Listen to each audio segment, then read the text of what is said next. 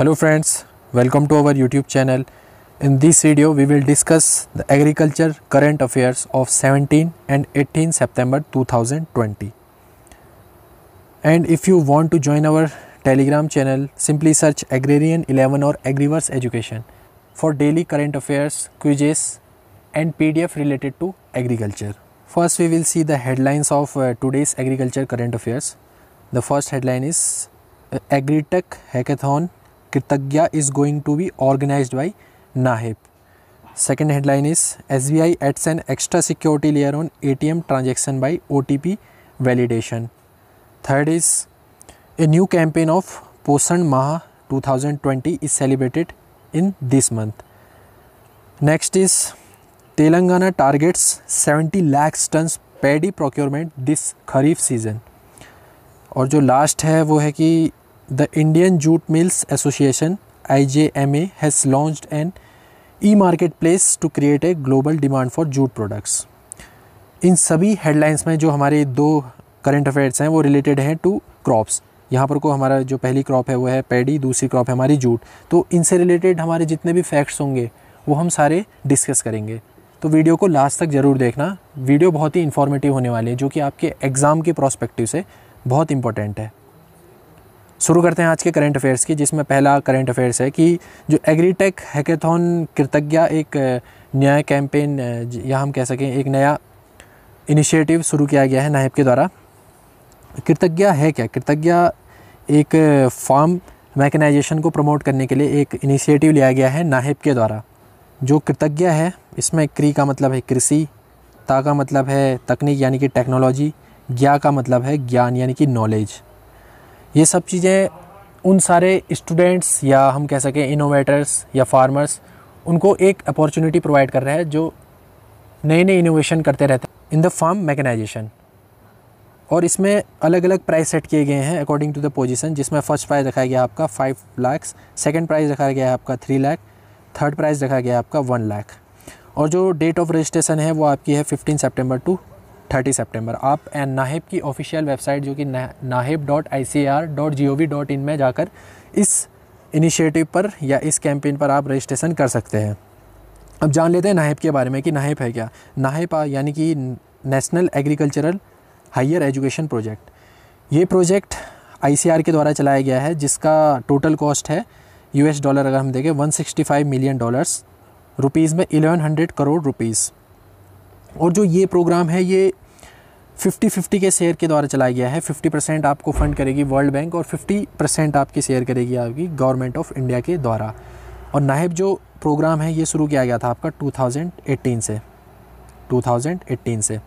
जो नाहिब प्रोग्राम है, इसको बहुत सारे state agriculture universities other central agriculture universities में इसको रन किया जा रहा है, जो कि इंस्टीट्यूशनल डेवलपमेंट प्रोजेक्ट के अंदर आता है।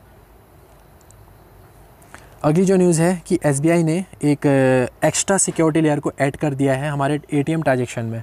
अब क्या होगा? पहले हम क्या करते थे? दस हज़ार से ज़्यादा की अगर हम डेबिट करें या ट्रांजेक्शन करें एटीएम के थ्रू तो हमें ओटीपी की ज़रूरत नहीं पड़ती थी। यहाँ पर को एटीएम ने सिक्योरिटी रीज़न के चलते अगर हम दस हज़ार से ज़्यादा की राशि का अगर हम डेबिट करेंगे तो उसमें हमें ओटीपी वैलिडेशन करना पड़ेगा। ये रूल चालू किया जाएगा 18 सितंबर के बाद से। 18 सितंबर के बाद से ये ला, ये नियम लागू किया जाएगा। इसके क्या क्या फ़ायदे हैं? वो हम देख लेते हैं। पहला ये फ़ायदा है कि जो ओ वैलिडेटेड ए ट्रांजेक्शन है, ये मिनिमाइज़ कर देगा हमारे अनऑथराइज ट्रांजेक्शन को। या अगर कोई फ्रॉड केस हो गया या कार्ड हमारा मिसिंग हो गया, उसके चलते अगर कोई हमारा कार्ड यूज़ भी करना चाहे तो इससे एक एक्स्ट्रा सिक्योरिटी लेयर इसमें ऐड हो जाएगी। एक चीज़ और, इसमें एक चीज़ ये भी है, अगर हम एसबीआई के एटीएम को दूसरे एटीएम में अगर हम यूज़ करें तो वहाँ पर कोई ये जो एक्स्ट्रा सिक्योरिटी लेयर है, ये वहाँ पर को फॉलो नहीं होगा, जो ओटीपी वैलिडेशन है, वहाँ पर कोई नहीं करना पड़ेगा। क्योंकि अगर इंटर बैंक यानी कि अलग अलग बैंक के बीच के अगर हम एटीएम यूज़ करें, जैसे एसबीआई का एटीएम हमने डाल दिया हमारा पंजाब नेशनल बैंक के बैंक में तो वहाँ पर को हमें ओटीपी वैलिडेशन नहीं करना पड़ेगा, क्योंकि ये फ़ंक्शन अभी नेशनल फाइनेंशियल स्विच के अंदर नहीं आया है। नेशनल फाइनेंशियल स्विच के ज़रिए ही हम एक एटीएम का यूज़ दूसरे एटीएम में कर सकते हैं। मींस एक बैंक का एटीएम है, उसको हम दूसरे बैंक के एटीएम में यूज़ कर सकते हैं। अगली जो न्यूज़ है कि हाल ही में जो ये मंथ चल रहा है हमारा सितंबर का, इसमें पोषण महाअभियान चलाया जा रहा है, जो कि पोषण अभियान के अंतर्गत इसको इनिशिएटिव को चलाया जा रहा है। अब जान लेते हैं इसका ऑब्जेक्टिव क्या है। इसका ऑब्जेक्टिव है to strengthen India's nutritional target and eradicate malnutrition from the country, the government introduce a flagship initiative Poshan Abhiyan. जो ये पोषण अभियान है, इसको चलाया गया था 2018 में। इसमें मेन एम ये था जो माल न्यूट्रिशन है, हो गया अंडर वेट हो गया स्टंटिंग ग्रोथ हो गई लो बर्थ वेट हो गया। उसको यहाँ पर को हमने डिक्रीज़ करने का एक एम रखा था बाई टू परसेंट और जो यंग चिल्ड्रंस में एनीमिया की प्रॉब्लम रहती है उसको थ्री परसेंट डिक्रीज करने का यहाँ पर को टारगेट रखा गया है अंटिल 2022 यहाँ पर को हमारा जो मेन फोकस रखा गया था वो न्यूट्री सीरियल्स में रखा गया था। न्यूट्री सीरियल्स यानी कि जो न्यूट्रिएंट रिच सीरियल्स होते हैं, जिसे हम मोटा अनाज भी कहते हैं, जैसे हमारे मिलेट क्रॉप्स होगी, उनको यहाँ पर को बहुत ज़्यादा प्रमोट किया गया इन दिस पोषण महाअभियान की। और इसके साथ साथ बहुत सारे कैंपेन भी ऑर्गेनाइज़ कराए गए, जैसे ये आप जैसे देख पा रहे हैं, ये एक रंगोली कंपटीशन कराया गया था पोषण माह के अंतर्गत, जिसमें ये सारी हमारी जो न्यूट्रिएंट रिच फूड्स है, उसके ज़रिए या उसके माध्यम से यहाँ पर कोई एक रंगोली तैयार की गई और उसका अलग अलग प्राइस सेट किया गया। अब थोड़ा हम मिलेट के बारे में जान लेते हैं। मिलेट जिसे हम न्यूट्री सीरियल्स भी कहते हैं, इसका जो प्रोडक्शन है 11 मिलियन टन्स एनुअली किया जाता है इंडिया में और वर्ल्ड प्रोडक्शन का 40 परसेंट सिर्फ़ इंडिया में ही किया जाता है मिलेट्स का। अगली न्यूज़ के बारे में जान देते हैं। जो तेलंगाना है, उसने टारगेट किया है 70 lakh tons paddy procurement this kharif season Telangana government has set a procurement target of 70 lakh ton of paddy for the kharif season this is a from the total procurement of 45.5 lakh tons of paddy in the last year kharif season last year kharif season यहाँ पर को तेलंगाना में था 47.5 lakh ton state has increase the procurement target after the total cropped area has gone up to 36 percent in Telangana state जो total crop area है paddy का, वो इस साल इंक्रीज़ हो रखा है थर्टी सिक्स परसेंट तो इसी के चलते प्रोक्योरमेंट का भी टारगेट रखा गया है सेवेंटी लाख टन्स अब जान लेते हैं राइस के सीनियरों के बारे में. According to a 2019 data rice का जो प्रोडक्शन था, वो था हमारा 116.42 मिलियन टन्स इन इंडिया ये इंडिया की बात हो रही है. एरिया था 44 मिलियन हेक्टेयर और नंबर वन स्टेट की बात करें in terms of production production में जो हमारा नंबर वन स्टेट था, वो था हमारा वेस्ट बंगाल प्रोडक्टिविटी में पंजाब एंड एरिया वाइज अगर हम देखें तो उत्तर प्रदेश टॉप पे था पैडी में.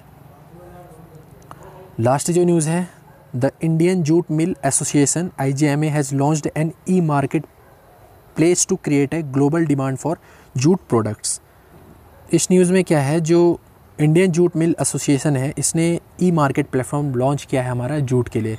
अभी तक क्या था? जितना भी हमारा जूट की डोमेस्टिक इंडस्ट्री थी, उसको गवर्नमेंट ऑर्डर ही डिसाइड करती थी, जो कि अंडर आता था हमारा jute packaging material act 1987 jute packaging material act 1987 अब IGMA ने टारगेट क्या रखा है? ये लोग ट्रांसफ़र करना चाह रहे हैं गवर्नमेंट के ऑर्डर को मार्केट ड्रिवन ऑर्डर्स में। इसके लिए इन्होंने ई प्लेटफॉर्म लॉन्च किया है, जिसमें आपके ई प्लेटफॉर्म है, जैसे जूट कार्ट है, फाइबर इंडिया है, जूट फ्लैश है, या जूट इंडिया है। अभी अगर हम जूट के मिल्स का सिनेरियो देखें तो हमारी कंट्री में 92 जूट मिल्स हैं 5 लाख जूट प्रोडक्ट मैन्युफैक्चर हैं अक्रॉस द कंट्री अभी के लिए आई ने थ्री जूट मिल्स और 200 मैन्युफैक्चर को इस प्लेटफॉर्म में ऐड कर दिया है। अब जूट के बारे में बात करें तो जूट में अभी नंबर वन स्टेट है हमारा वेस्ट बंगाल और इसका एरिया जो है वो हमारा zero point seven three million hectare अब जूट से रिलेटेड जो हमारे इंस्टीट्यूट हैं, उनको डिस्कस कर लेते हैं। जो हमारा पहला इंस्टीट्यूट है जूट का, वो है C R I J A F C R I J A F यानी कि central research institute for jute and allied fibres जो कि बैरकपुर वेस्ट बंगाल में सिचुएटेड है।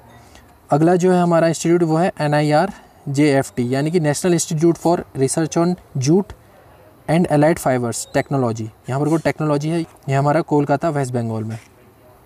और बात करें जूट के प्रोक्योरमेंट के बारे में तो इसका जो प्रोक्योरमेंट है, वो किया जाता है जेसीआई यानी कि जूट कॉपरेशन ऑफ़ इंडिया के द्वारा।